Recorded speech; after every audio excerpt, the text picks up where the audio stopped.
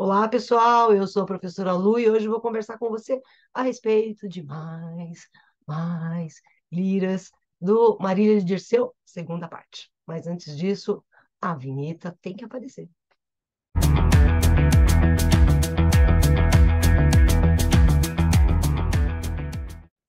Pronto, pessoal. Vamos aqui a vou compartilhar. Já está acostumado, né? Então vamos compartilhar o Marília de Dirceu, que a gente vai ler hoje. Deixa eu ampliar a tela para ficar melhor para vocês, tá bom? E vamos à leitura do dia, né? Nós vamos da lira número 21 até a 25ª lira, tá bom? Então vamos lá aqui a, a nossa... Minha cadeira está fazendo barulho. É, é, pronto, agora já me ajeitei. Vamos lá. Uh, comecemos. E diversas que são, Marília, as horas que passo na masmorra imunda e feia, dessas horas felizes já passadas na tua pátria aldeia. Então, vamos lá. As horas, né? Olha só o que ele coloca aqui pra gente. As horas que ele passa, né? São as horas que ele está passando. Deixa eu só trocar essa cor, né? Que o pessoal me escreveu dizendo que realmente ficou melhor com verde. Hoje eu vou tentar com laranja. Então, olha, as horas que passo na masmorra imunda, diversas são. Tá? Mas a masmorra é a cadeia. É imunda e mais do que imunda, ela é imunda e é feia. Tá bom? Ah, as horas felizes eram as horas que ele passava na pátria aldeia. Então, as horas, então, olha só a oposição que eu tenho aqui. Né? Na mas... Ui, para variar. Né? Na masmorra, né?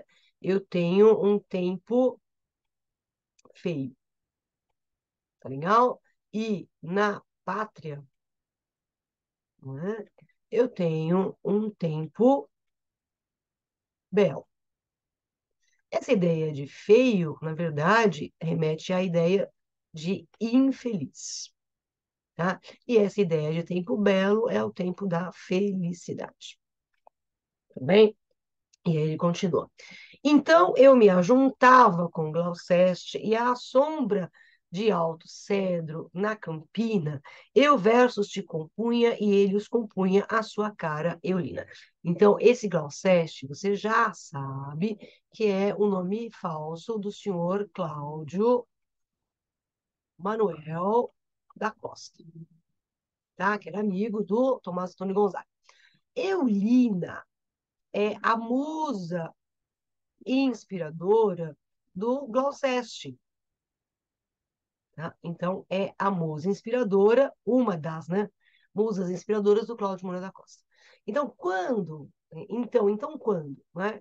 Quando ele estava, como ele coloca lá, né, na estrofe anterior, quando ele estava na pátria aldeia, bom? ele se juntava com o Gloucester, e enquanto o Gloucester compunha liras, versos, para a musa dele, que é a Eulina, o Dirceu compunha os versos dele justamente para quem? Para Marília. Então, esse T aqui é a Marília. Tá? Como é que eu sei que é a Marília? Ele está conversando com a Marília. Ele começa, né? Que diversas que são Marília. Então, mais uma vez, a interlocutora é a Marília. Cada qual o seu canto aos, aos astros leva, de exceder um ao outro qualquer trata. O eco agora diz Marília terna, e logo Eulina ingrata. então, cada qual, cada qual, né? Ora, quem é cada qual? Um desses elementos aqui é o Dirceu, e o outro é o Gloucester. Tá bom? Então, cada um né, cantava a sua música inspiradora do seu jeito. Certo? é, o Eco dizia Marília Eterna. Então, para o Dirceu, a Marília Eterna. E para o Gloucester, a Eulina é ingrata. Não? Visões opostas em relação às musas.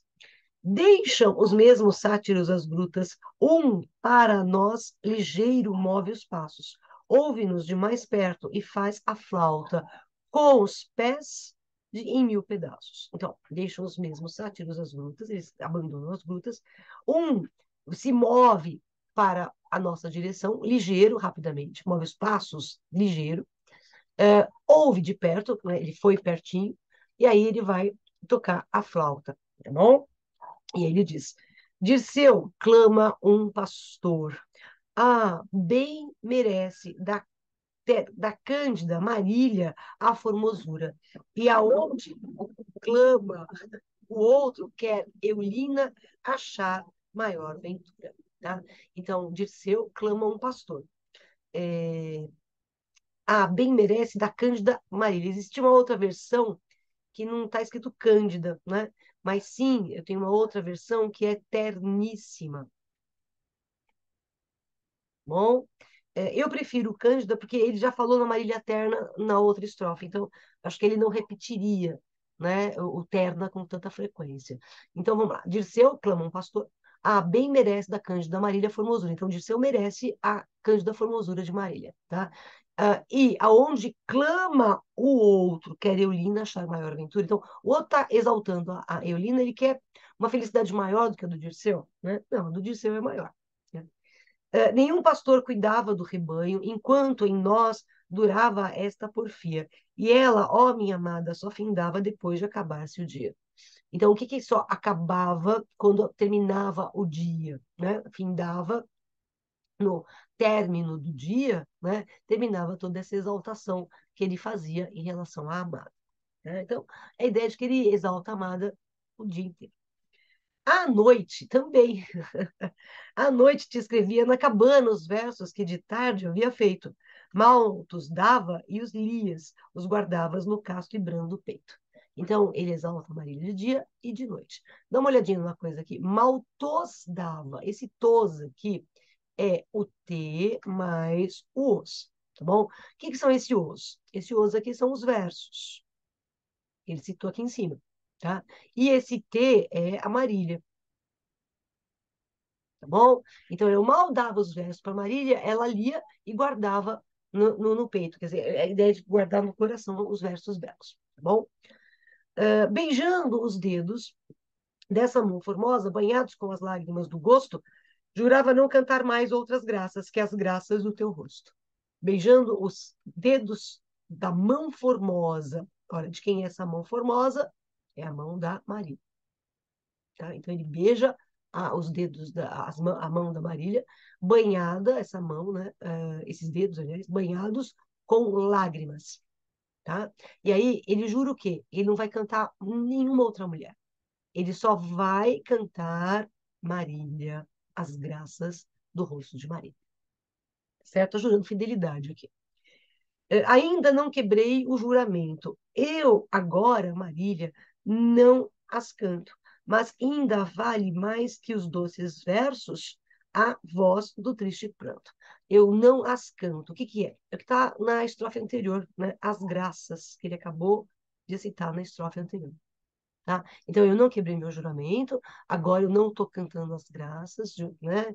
Eu só vou cantar as tuas, evidente, né? E vale mais que os doces versos, a voz do triste pronto. Quer dizer, há uma tristeza. Lembrar que nessa segunda parte, a tristeza é constante, por quê? Porque o Dirceu, ele está preso, tá bom? E tem saudade, evidentemente, da Maria. Na Lira 22, olha o que ele diz.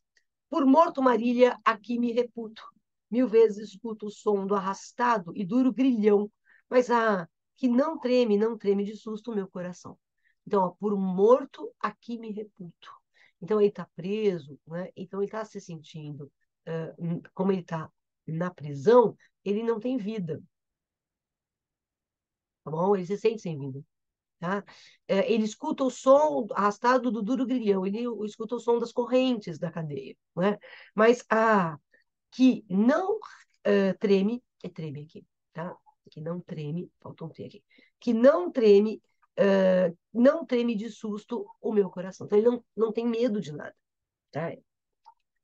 A chave lá soa na porta segura, abre-se a escura e infame masmorra da minha prisão. Mas ah, que não treme, não treme de susto o meu coração. Então, ó, não treme, não treme de susto o meu coração é o famoso refrão né, que aparece uh, frequentemente no Marília de Dirceu. A chave é a chave da cela, tá? É a chave da cadeia. Tá bom? Abre-se a escura e infame masmorra. Masmorra é a cadeia. Perfeito? Quer dizer, é a prisão onde ele está. Mas mesmo assim, ele não treme de susto. O coração dele não treme. Então, ele não tem medo de nada. Tá? Já a torre se assenta, carrega-me o rosto do crime suposto, com mil artifícios e indaga a razão. Mas, ah, que não treme, não treme de susto o meu coração. Torres. Ah, ele faz uma referência a um tal de Torres aqui, né? Quem seria esse Torres? Uh, vou colocar o nome do cidadão aqui inteiro. Seria o senhor José Pedro Machado uh, Coelho Torres. Tá? E aí você vai perguntar quem é esse José Pedro Machado Coelho Torres. Era o desembargador. Tá? E o desembargador responsável pelo quê? Ele presidia os inquéritos uh, na Ilha das Cobras, onde Tomás Antônio Gonzaga estava detido. Né? E era o responsável, vou acrescentar aqui para você, ele é o, o, o, desembargador Torres, é o responsável pelos interrogatórios. Tá? Agora, vejam bem o que ele fala sobre o desembargador Torres. Já Torres se assenta, carrega-me o rosto do crime suposto, com mil artifícios e indaga a razão. Então, ele, crime suposto, é, de quem é esse crime suposto? Seria o crime suposto do Dirceu de ter participado do quê? Da conjuração mineira. Tá? E repare que ele fala que é um suposto. Não se esqueça que o Tomás Antônio Gonzaga morreu dizendo que não participou da conjuração mineira. Tá bom? Mas mesmo assim, ó, eu não estou com medo do desembargador nem do interrogatório dele. Eu vejo Marília as, a mil inocentes nas cruzes pendentes por falsos delitos, que os homens lhe dão. Mas há que não treme, não treme de susto meu coração. Olha, eu vejo, Marília, inocentes. Né? Inocentes nas cruzes. Aqui a ideia né, de castigo. Tá bom? Quem são esses, esses castigados? São, na verdade, os inocentes. Por que, que eles são inocentes? Porque ele coloca aqui, ó, falsos delitos que os homens lhe dão. Então, ele está colocando mais ou menos o seguinte: olha, eu sou mais uma vítima, eu sou mais um inocente que está sendo julgado aqui. Se penso que posso perder-te ou gozar-te, a glória de dar-te abraços honestos e beijos na mão. E beijos na mão, Marília, já treme, já treme de susto meu coração. Então, ele não tinha medo né, do julgamento, mas ele tem medo, né, o temor dele aqui, né, qual é o temor dele? É perder Marília. Também Marília já treme, já treme de susto meu coração, de não poder mais dar beijos em Marília. Então, perder Marília lhe causa medo. Tá bom? Perder o prazer, o gozar-te aqui no sentido de prazer, né? o prazer de ter você perto de mim. E os seus abraços honestos e os beijos nas mãos. Quer dizer, disso eu tenho medo. Eu não tenho medo dos julgamentos. Tá? Repara, Marília, o quanto é mais forte ainda que a morte, num peito esforçado de amor à paixão. Marília já treme, já treme de susto o meu coração.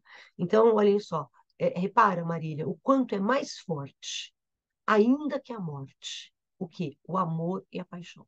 Então, o amor, né? O amor, ele é mais forte do que o medo da morte. Tá bom? Ok? Então, por que, que ele treme? Ele treme de medo de perder esse amor. Tudo bem? Lira número 23. Não praguejes, Marília, não praguejes, a justiceira mão que lança os ferros, não traz debalde ao vingador, espada deve punir os erros. Então, não praguejes. Então, o Marília não fica praguejando é, contra as injustiças, é, e não pragueja contra a justiça também.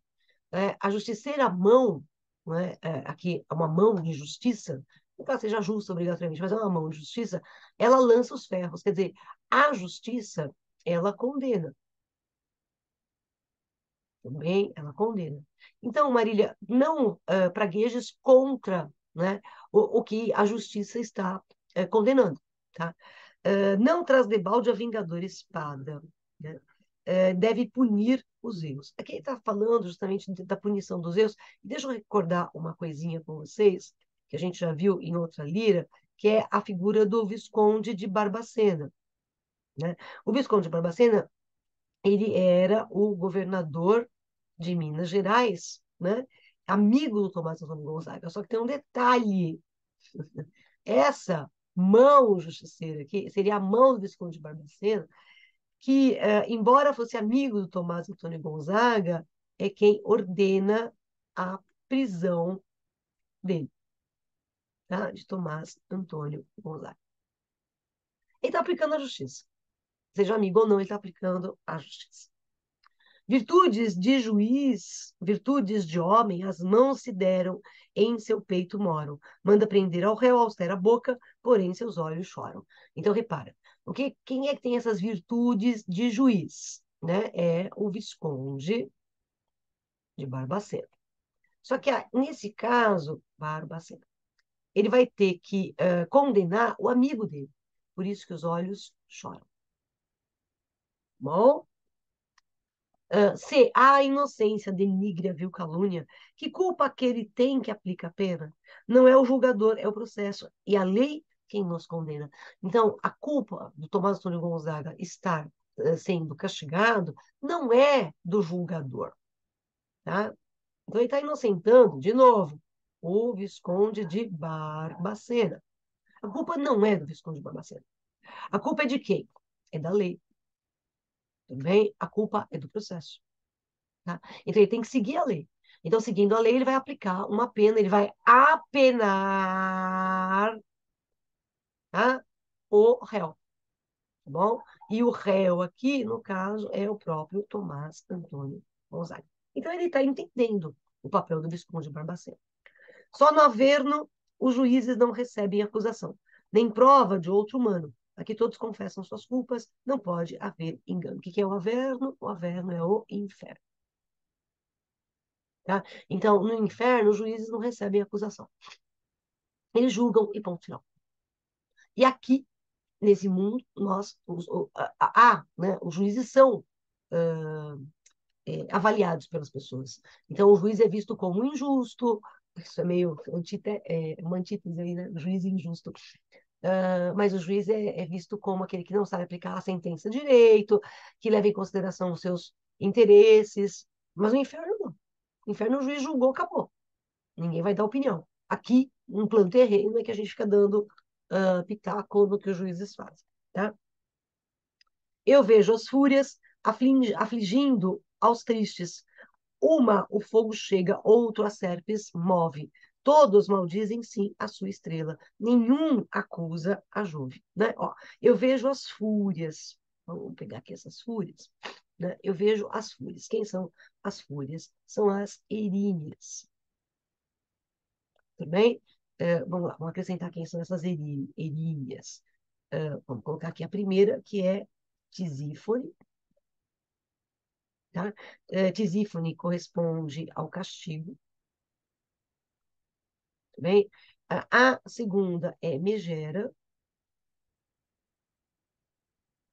Megera corresponde ao rancor.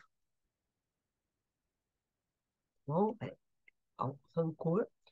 E uh, a terceira seria alecto. E alecto vai corresponder ao inominável. Tudo bem? Significa isso. Alecto, ele vai uh, espalhar né, o mal. E que mal que ele acaba uh, espalhando? São todas as maldições, são pestes. Tudo bem? Ok? Então, vamos lá. Eu vejo as fúrias afligindo aos tristes. Uma, o fogo chega. Né? Quem é que uh, uma, o fogo chega? Essa do fogo, evidentemente, seria Alecto também.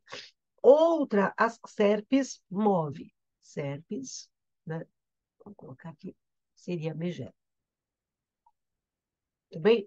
Uh, todos maldizem sim a sua estrela, nenhum acusa Jove. Quer dizer, todo mundo diz que é destino, destino, mas ninguém acusa Jove. Eu também ainda adoro ao grande chefe, bem que a prisão me dá, que eu não mereço. Qual eu sou, minha bela, não me trata, trata-me qual pareço. Quem é esse grande chefe, né, que eu ainda adoro? É o amigo dele, né? É o Visconde de Barbacena. Então, mesmo ele estando me julgando, eu, eu gosto dele. Ele me dá a prisão que eu não mereço. Então, de novo, aqui, o que o Tomás Antônio Gonzaga está uh, mostrando para gente é a ideia de que ele é um inocente. Tá? E como eu sou inocente, ele não me trata tal qual uh, eu pareço, né? Porque uh, eu sou um inocente tratado como um uh, culpado, tá bom? Quem suspira, Marília, quando pune ao vassalo que julga delinquente, que gosto não terá, podendo dar-lhe as honras de inocente? Ó, uh, esse trema aqui não existe mais, tá? Vamos lá. Quem suspira, Marília, quando pune ao vassalo que julga delinquente? Que gosto não terá, podendo dar-lhe as honras de inocente? Então, assim, uh, o, o, Barbacena poderia uh, colocar o, o Dirceu como inocente, não é? mas é, é é uma, uma mera possibilidade dele ter essas honras de inocente, que ele não vai ter, né? Você sabe que o Tomás Antônio Gonzaga foi deportado, né? Tu vences, Barbacena, aos mesmos títulos nas sãs virtudes que o peito abrigas. Uh, não honras tão somente a quem premias, premias, honras a quem castigas. Está aqui, ó, viu?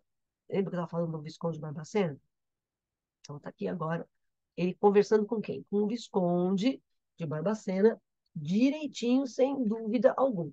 Né? Quer dizer, é, ele, ele, nas outras uh, estrofes, ele não estava mencionando né, o nome do Visconde Barbacena, mas aqui ele está mencionando né, esse uh, Visconde de Barbacena é, nominalmente, né? E tá, uh, na verdade, ele ele está tá, tá, conversando com ele, né? Porque aqui ele deixou de, de falar na Marília, tu vences Barbacena, né? O Barbacena que é o seu interlocutor nesse caso. Uh, tu vences aos mesmos títulos, os títulos são os titãs. Tá? Então ele consegue vencer até os titãs, não a banda musical. Das sãs virtudes que no peito abrigas. Então, Barbacena tem um peito, tem um coração de virtudes. Tá? Não honras tão somente a quem premias, honras a quem castigas. Então, ele vai aplicar a justiça tal qual ela está sendo estabelecida. Perfeito? 24 lira. Eu sou Marília, vou brigar. Desculpa, eu vou, Marília, vou brigar com as feras. Uma soltaram, eu lhe sinto os passos. Aqui, aqui espero. Nestes despido os braços. É um malhado tigre, a mim já corre ao peito, o aperto. Estalam-se as costelas, desfalece, cai, urra, treme e morre. Marília, eu vou lutar com todas as feras. A primeira fera que está pertinho de mim, aqui, já é um tigre. O tigre foi na direção dele, o que ele fez? Ele apertou o tigre, quebrou as costelas do tigre e matou o tigre. Que está colocando aqui é que, seja qual for a fera que, é, contra a qual Dirceu deve lutar, ele vai lutar e vai destruir essa fera. Essa fera. Agora vem outra fera, é um leão. Vem agora um leão sacode a grenha, com faminta paixão a mim se lança. Venha, embora, que o pulso ainda não se cansa. Oprimo-lhe a garganta, a língua estira, o corpo lhe fraqueia, os olhos incham, açoita o chão convulso, a queijo expira. De novo, né? Então, a primeira fera, ó, ele vai destruir as feras. Então, a primeira foi o tigre, né, que ele matou. Agora, a segunda é um leão. Tá legal? Então, ó, e o leão vinha com faminta paixão se, se lançou contra ele, né? E aí o que ele fez? Pegou o leão pela garganta, né? E acabou matando o leão, tá bom? Essa é a segunda fera que ele mata. Mas que vejo, Marília, tu te assustas? Entendes que os destinos inumanos expõem a minha vida no cerco dos romanos? Com ursos e com onças eu não luto. Luto com bravo monstro que me acusa, que os tigres e leões mais fero e bruto. Então eu luto contra quem? Contra quem está me acusando. Tá? Então, Maria, você está se assustando? Não se assuste. Tá? Você deve entender que os destinos inumanos expõem a minha vida no círculo dos romanos. É como se estivesse sendo lançado né, às feras, que ele acabou de citar. Né? Mas assim, olha, eu não vou lutar com ursos e com onças. Não, não, não. Eu vou lutar, eu vou lutar com quem? Com tigres e com leões. Quer dizer, eu vou lutar com uh, espécies animais que são mais ferozes do que um urso e uma onça né? Eu vou lutar contra esse bravo monstro que está me acusando. Tá certo? Então, assim, eu, na verdade, eu não, tô, não vou mais lutar contra os animais, tigres e leões, eu vou lutar contra eh, seres humanos que são piores ou mais ferozes ainda que tigres e uh, leões, e mais brutos também. Né? Te dá ideia não só da brutalidade física dos tigres e leões, mas esses humanos são intelectualmente também uh, menos racionais. Né? Uh, embora é, ele coloca isso aqui para a gente falar. Embora contra mim, raivoso esgrima, Davi calúnia, cortador espada, uma alma qual eu tenho não se receia nada. Eu hei de sim punir-lhe a insolência, pisar-lhe o negro colo, abrir-lhe o peito com as armas invencíveis da inocência. Então, veja bem, Marília, embora uh, eu tenha a vil calúnia contra mim, é como se a espada da calúnia estivesse contra o meu peito, né? Uh, não, não, não tem que se recear absolutamente nada, viu, Marília? Não, não receia absolutamente nada. Eu hei de punir a insolência, eu hei de pisar o negro colo, eu hei de abrir o peito, né? Ora, quem é que tem esse negro colo? Quem é que tem esse peito que deve ser aberto? É, são justamente ah, os injustos. Aqueles que estão julgando de seu injustamente porque eu tenho uma arma para destruir esses homens. E qual é a minha arma? Uma arma invencível. Qual é a arma invencível? É a inocência. Tá? Então, com a minha arma da inocência, eu vou destruir esses malfeitores. Bom? Ah, quando imaginar uh, que vingativo mando que desça ao tártaro profundo, hei de com a mão honrada erguer-lhe o corpo imundo. Eu, então lhe direi, infame indigno, obras como costumo vil humano, faço o que faz o coração divino. Vamos lá. Ah, quando imaginar que vingativo mando que desça ao tártaro profundo, tártaro profundo, vou ter que dar uma eh, fazer uma paráfrase desse, desse, desses versos que eles são mais complicadinhos, né? O tártaro profundo aqui é o inferno. Tudo bem? É, o inferno, mas não é o inferno, é o inferno primordial. Tá legal? Então, uh, quando imaginar o quê? Quando imaginar o monstro. Agora, que monstro é esse? É o monstro que me acusa.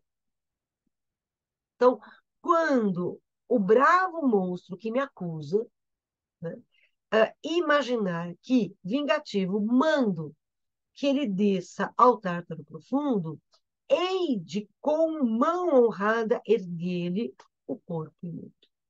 Tá? Então, mudando a, a, ordem, fazendo uma paráfrase, seria isso.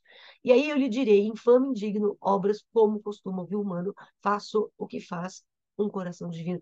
Então, olha, você é infame, você é indigno, mas eu tenho um coração divino. Tá bom?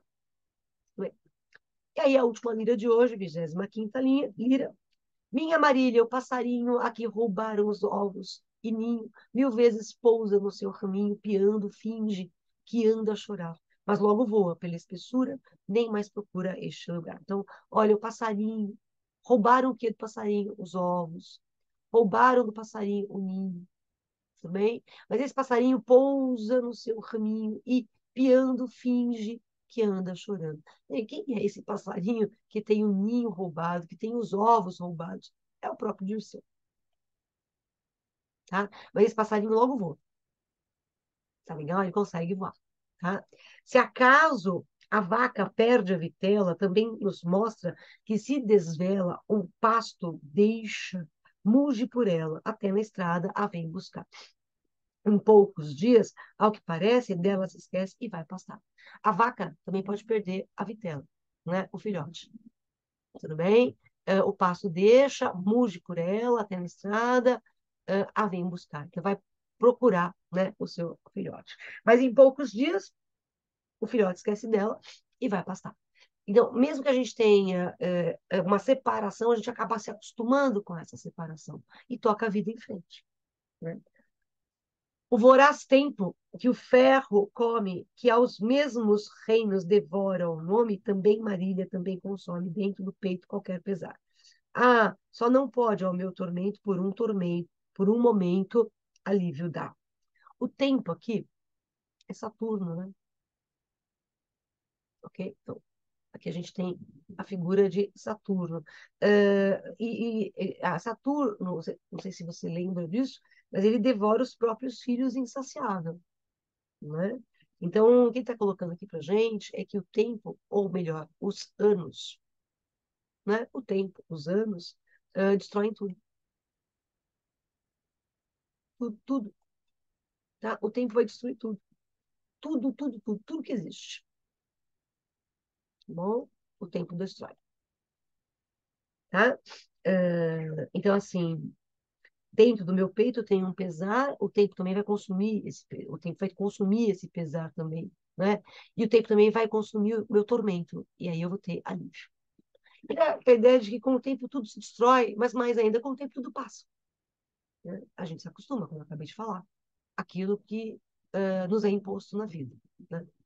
Também, ó Bela, não há quem viva instantes breves na chama ativa. Derrete ao bronze, sendo excessiva, ao mesmo seixo faz estalar. Mas do amianto, a febradura na chamatura, sem se queimar.